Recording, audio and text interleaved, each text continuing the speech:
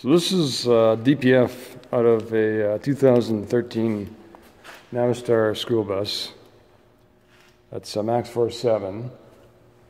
And the problem we were having was uh, black smoke occasionally coming out of the tailpipe. So this is uh, the cause. DPF is totally uh, disintegrated.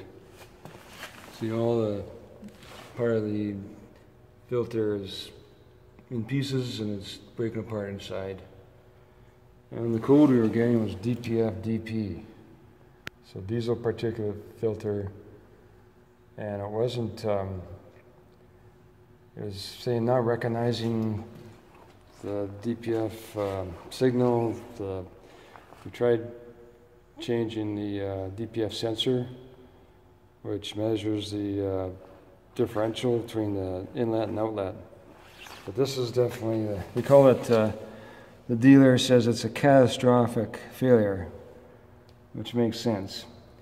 So this bus is uh, only uh, three years old, so still under warranty.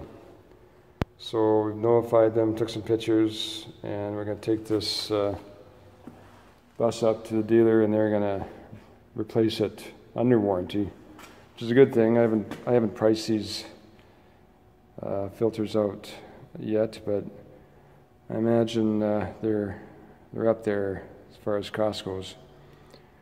So that's it. We just uh, take it to the dealer, and uh, they'll fix it, and we'll be rid of the black smoke, and hopefully back to normal.